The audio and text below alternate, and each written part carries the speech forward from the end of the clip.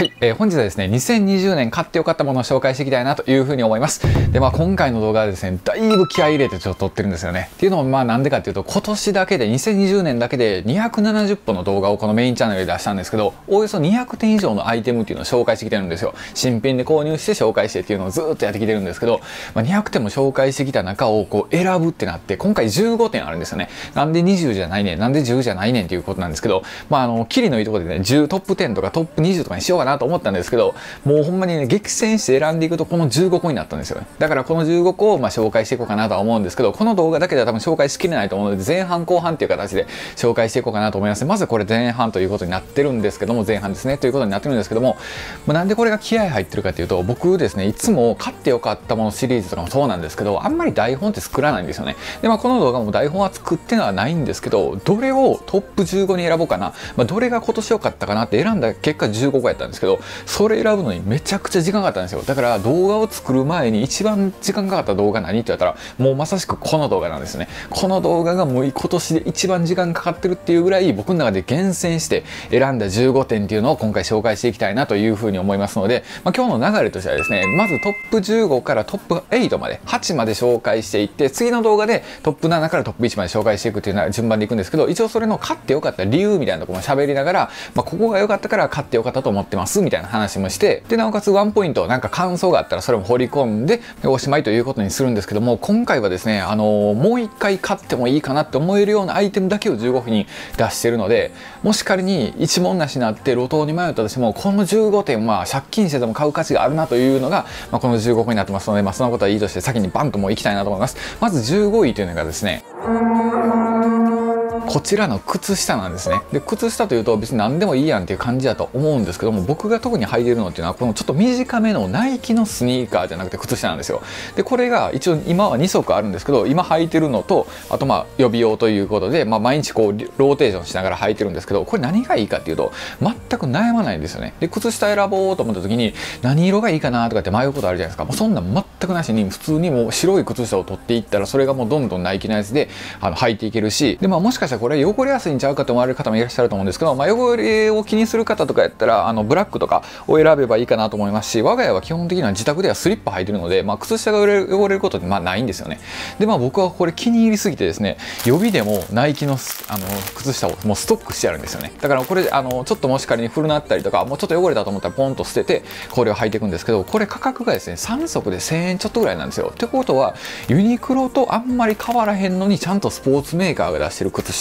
なので頑丈ですし僕結構靴下よく破れるんですけどこの靴下はあんま破れないんですよね。これもう半年ぐらい履いてるけど全く破れる気配ないしさすがスポーツブランドやなと思うんですけどユニクロのやつはいいんですけど僕よく破れるんですよ。つま先がよく破れるんでもう今はずっとこの靴下を履いてるっていうのが最近ですね。なのでこれ以上の靴下に出会わんかったらまたこれを買ってこれを買っての繰り返しだと思うんですけどまず15位が、え、靴下ということになっております。そして次の14位っていうのがですねこちらのノースフェイスのヌプシジャケットになります。まあ、これはめちゃくちゃ良くてですね、僕ノースフェイスのジャケット今年結構買ってるんですよね。アウターも買ってるし、ウィンドブレーカーとかそんなのも買ったりしてるし、アウター類結構買っててるんですけど、その中でもダントツで良かったのがこのヌプシジャケットなんですよ。まあ、なのでこの時点でまあネタバレになってるんですけど、13位以上にはノースフェイスのアウターは出てこないんですよね。これがもうナンバーワン、一番良かったってことで、ヌプシジャケットを買ってるんですけど、じゃあなんで良かったんかっていうと、昨日の検証動画でもあったんですけど、めちゃくちゃあったかいんですよね。で、僕の宝田的にはバルトロよりもこっちの方があったかいんですよまあそれは数値もあのちゃんと出てるんですけどそれぐらいあったかいですしでなおかつ値段的にもう4万円切るぐらいで買えるって考えるとめちゃくちゃコスパもいいしさすが昔からずっとあるだけあるなってこれめちゃくちゃ納得させられたんですよね買って。あよかったなと思ってこれ買わんとノースイスはなかなか語られへんなと思ったんでこのヌプシジャケットは購入してよかったなと思います、まあ、例えばヌプシってジャケットだけじゃなくてブーツとかもあったりあとシャツとかもあったり結構いろいろあるんですよね。なんでそんなヌプシってばっかり名前つけてんのと思ってヌプシひいきですやんとかって思ってたんですけどあこれは確かにヌプシって名前付けたくなるぐらいこのジャケットが良すぎるなってまあどういうことかよくわからないんですけど思ったぐらい良かったんで、まあ、14位かなと思います。まあ一応その13位以降もノースフェイスは出てくるんですけどとりあえずアウターとしてはこれがもうトップナンバーワンやったんでノースフェイスのナンバーワンアウターはこちらのヌプシジャケットでした。こちらのパストリーゼというアルコールになっております。まあ多分2020年は結構皆さんアルコールとか除菌とかされることコロナで多くなったと思うんですけどまあ我が家ももともとずっとこれ使い続けてるんですけどこのパストリーゼ以外アルコール一切使わないんですよね。これの何がいいかって言ったらめちゃくちゃ安全なんですよ。で例えばこういうボトルに入れてるじゃないですか。ほんなら例えば口とかにって入ったりとかしても全く問題ないですしこう間違えて飲み物の中とかにピュッて入っちゃったりしても全然問題ないんですよ。でさらに言うならご飯の上とかにこれピュッてかかったりしても全然問題なかったりするぐらい安心にできてるので、まあ、上に安全無害って書いてますが特にまあ小さいお子さんがいてはったりとかしたらちょっとまあ気になる方もいらっしゃると思いますので、まあ、アルコールなんかね別にどこでも売ってるっちゃ売ってるんですけど、まあ、口とかに入れて問題ないやつとかってなってくるとちょっと限られてくるんかなと思うので我が家ではもうずっとこれですねもう10年以上前実家から僕これ使ってるのでもう20年ぐらいはずっとこのアルコールを使ってるという感じになってますね。今ではこの部屋にも1個あるしあと手洗い場にも1個あるしあと車の中にも1個あってコンビニ寄った後とかはもう必ず手をこれでアルコールシュッシュってスプレーして100均のボトルとかに移し替えてるんですけどまあさすがにねこのままこんなことして使うことはないんですけど何かに入れ替えて使ってるというぐらい愛用してるのがこのパストリーゼというものになってます。では次、えー、第12位というのがですね。こちらのドローアラインになってます。で、ここちらってどれやねんって感じなんですけど、この後ろのね、棒なんですよ。これおしゃれな突っ張り棒みたいな文言で売り出してるんですよ。おしゃれな突っ張り棒ってほんまかいなとかって思ったりするじゃないですか。いや、マジでこれ普通におしゃれなんですよね。で、なんでかって言ったら、これ我が家何にも凝ってないんですよ。ただ普通に突っ張り棒をつけて、あの、観葉植物を置いただけなんですよね。ただそれだけでも結構視聴者の方からおしゃれな雰囲気ですねって言われたりするんですけど、全然おしゃれも何も分かってへんけど、観葉植物置いただけですっていうぐらい簡単におしゃれにできるし、それ以外にやったら我が家気に入りすぎて、まあ僕が気に入りすぎて、これ4本買ってるんですよね。まあここに1本と自分のデスクに2本と、あと玄関に1本つけてて、まあこっちに関しては今見てもらってるのはもうただのなんていうんですかね、鑑賞用みたいな感じであんまり意味はないと思うんですけど、玄関とかやったらそれこそこう外とかから帰ってきた時ってジャケット汚れたりするじゃないですか。リュック汚れたりとか。で、そういうのはもう玄関にパンって置いといたら部屋の中が綺麗な状態になるので、まあ使い方次第では実用性もあるし、まあちょっとこじゃれた雰囲気出したんやったらまあこんな使い方もできるし、僕デスクの方はこじゃれた雰囲気は全然ないんですけど、まあ実用性をメインで使ってたりはするのでちょただねちょっとこれ値段が高かったりするので普通の突っ張り棒やったら全然安いと思うんですけどこのドローアラインはそのいろんなねキットを組み合わせて作っていくんですけどそうすると結構高くて、まあ、僕4本ぐらい買って合計で多分56万はしてると思うんですけど、まあ、値段がちょっとネックやとは思うんですがちょっとおしゃれにしたいとかって思ってはる方なんかにはいいんじゃないかなと思いますし、まあ、僕の場合はねこの動画の映えが完全に変わるのでないとあるとではまあこれは買ってよかったかなというふうに思います。というのが第12ですねで次第11位というのがですね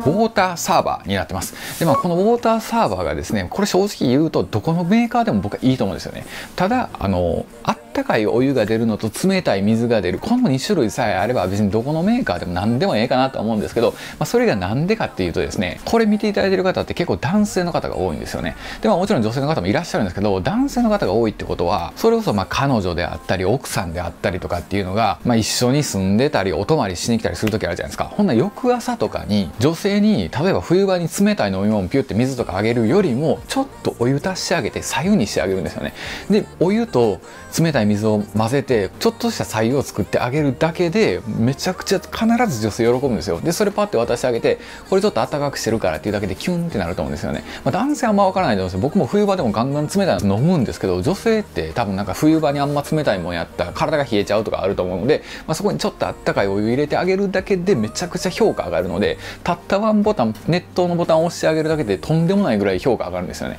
だからまあこれは持っといて損がないと思いますし、まあ、女性だけじゃなくてお子さんとかいてはったりしても結構安全な水なんですよね。だから中がちゃんと消臭というか殺菌された状態でウォーターサーバーって出てくるので、まあ、安全に飲めるしほんでもってなおかつ先ほども言ったけど女性にも受けがいいということになってるので、まあ、唯一なんかこうちょっと気になるなっていうのはやっぱ僕とかやって部屋が狭いんで、まあ、場所が取るんですよね。だからそれがちょっと微妙やなとかって思ったりはするんですけど場所以外ではあの、まあ、水も勝手に届けてくれるし月1回とか2週間に1回とか水届けてくれるんで別に水買いに行く必要なかったりするので、まあ、この辺はまああってよかったなというふうには思いますまああのこれ見てもらったら分かる通り僕はあの服とか関係なくとにかく今年良かったものを紹介してるのでちょっと今回に関しては服によってるとか日用品によってるとかも関係なくとにかく良かったと思うものをポンと紹介してるのでちょっといろいろ問いますがお許しくださいということで次第10位に行きたいなと思います第10位というのがですね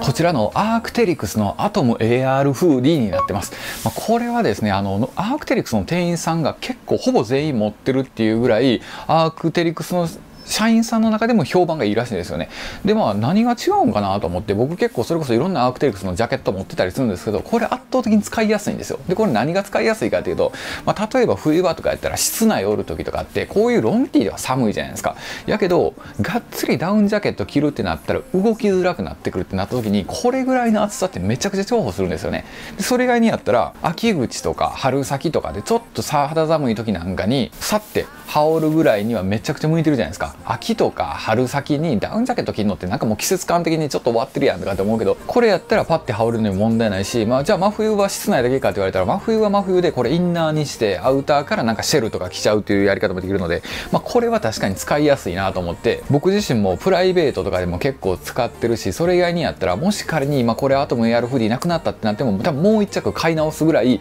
あこれは良かったなというふうに思います。なので今現段階でアークテリクスのジャケット持ってる中で何がいいって言われるると、まあ、ゼータとかこのアトム AR フーディーとかスコーミッシュとかあとカッパフーディーとか、まあ、この辺を今持ってるんですけどその中では一番やっぱりアトム AR フーディーが使い勝手はいいんじゃないかなと思います。まあただ時期によってもね若干違うので夏場とかやっぱスコーミッシュの方が良かったりはしますし、まあ、1年もう冬も夏も春も秋も関係なく来たいって言われたらゼータな気もしてくるしってなるけど、まあ、今喋ってるこのタイミングが冬やからっていうのはあると思うんですけど、まあ、アトム AR フーディーが今の段階では一番いいんじゃないかなというふうにはねアークテリクスのジャケットの中ではというふうには思うので第10位ということになっております。では次第9位というのがこちらのバーサタイルパンツになります。まあ、これはですね、僕持ってるタイプはショートパンツで、このかかってるのはロングタイプのパンツになってるんですけど、このバーサタイル系ってね、まあ言ったらただ丈が長いか短いだけの話なんですけど、ショートやったらショートで夏に履けるし、ロングやったらロングで、まあ真夏と真冬以外は履けるじゃないですか。って考えると結構ね、使い勝手いいんですよね。で、まあそれこそ、このバーサタイルショーツに関しては結構僕タイトめに履いてるので、これ M やったかな、サイズぐらいなんですけど、このロングの方に関しては、イージーパンツっていうんですかね、ちょっとゆったりした感じのシルエットで履こうと思って XL をこうじゃ購入してるので結構ゆったりあの大きいサイズ感なんですよ。ほんならこのパンツ自体は伸びないんですよ。全く伸びひんけどもゆったり履くことで結構楽なんですよね。だから部屋着としても僕結構履いてますし、まあ、それ以外にやったらそのままちょっとコンビニ行くとかやったら全然使えるじゃないですか。でまあ時代的にも今ちょっとワイドな時代というかワイドなパンツが流行ってたりするから私服で合わせるのにも全く申し分なかったりするのでそう考えると結構いいんですよね。でなおかつ取り扱いも楽やから普通に洗濯ガンガンできるしなんかおしゃれ着洗いしゃなあかんとかなんかこう加工つけやなあかんとか加工ね撥水の加工つけな加工じゃないですよ。加工つけなあかんとかってめんどくさいじゃないですか。でもそういうのがもう全くない。普通に洗濯掘り込んでやったらいいだけやから取り扱いも楽やなって考えると、まあ、これは結構通年1年通していいんちゃうかなと思います。まあショートは夏だけ。でこっちのロングの方に関しては真冬と真夏はちょっと厳しいと思うんですよ正直。生地がそんな分厚いわけじゃないから。まあやけど1年通して考えるとあ結構使ってたなと思ったのがこのバーサタイルパンツなんですよね、まあ、なのでその辺が第9位の理由かなというふうには思いますではこの動画最後の第8位に行きたいなと思いますでは第8位というのがこちらのナンガのホワイトレーベル最強ダウンジャケットになります。まあ、名前のごとく最強なんですけど、このダウンジャケットに関しては今年買ったダウンジャケットの中で圧倒的に1位なんですよ。もうめちゃくちゃいい。もうこれ以上のダウンジャケットにしばらく出会われへんのちゃうかなと思えるぐらい、まあ、とにかくいいんですよね。で、これはですね、まあ何がいいのって言われるとですね、まあ、正直9万円ぐらいするし高いやんっていう感じはするんですけど、めちゃくちゃ質がいいっていうのがもう袖通した瞬間にわかるんですよね。で、まあ、フードがあるタイプとかはちょっと僕持ってないんで何とも言えないんですけど、こういうスタンドカラーのタイプ、だから首元が結構ちゃんと設定されてるタイプとかって、この首からあんま風も入ってこへんし、なおかつこの首に当たるところとかもモふもふの柔らかい素材使ってくれてるんですよ。そう考えると着心地もいいしこの中の綿の良さもう羽織った瞬間あめっちゃこれええやんっていうのがもうすぐ分かるんですよねそれからまあ今年買ったダウンジャケットの中ではもう圧倒的に1位もうちょっと群抜いて1位やなと思えるぐらい良かったんでこれは第8位でランクインしてます、まあ、今回のトップ15の中でダウンジャケットの最上位はこれなんですよね。だからダウンジャケットはこれ以上上にはもうランクインしてこないんですけど、まあ、第8位でランクインしてるこちらのダウンジャケットがもし仮に今なくなったとしても多分色違いでも買いに行くやろうしなんやったらちょっと値段上がって10万円オーバーになったとしても多分僕は買うと思うんですよね。でそれぐらいのクオリティが間違いなくあるなって分かるので、まあ、他の有名ブランドの15万ぐらいするダウンジャケット買うぐらいやったらこっちのダウンジャケット買った方が実用性もあるし温かさも担保できるしほんでもし仮に修理ってなった場合も修理もしてくれるんですよね。だからまあこの辺が良かったんじゃないかなというふうには思います。というのが第8位ということになってます。でまあ今回紹介したのはですね全て全然企業案件も一切ないしもう個人の主観で全部選んでますのでもうどっからからあの案件もらってるとかもう全くなくあの忖度なしで僕の良、えー、かったものっていうのをランクインして並べさせていただきました、まあ、これの続き第7位からの第1位の続きっていうのはですね明日に動画アップしますので、まあ、それをまた見てもらえればあ今年こいつ400万ぐらいかけた中で一番良かったのこれなんやなっていうのが分かってもらえると思いますし、まあ、僕と同じような感覚の人とかやったらうわめっちゃ分かるわと思ってもらえるかもしれないですしまあちょっとその辺は楽しみにしておいていただければなというふうに思います。でまあそれぞれの細かいあのレビュー動画とかアイテムっていうのは下の動画説明欄に貼ってますのでそちらから見ていただければなというふうに思います。ということになってます本日はですね2020年に買ってよかったものトップ15からトップ8まで紹介してみたという動画になってます。また別動画でお会いしましょう。ありがとうございました。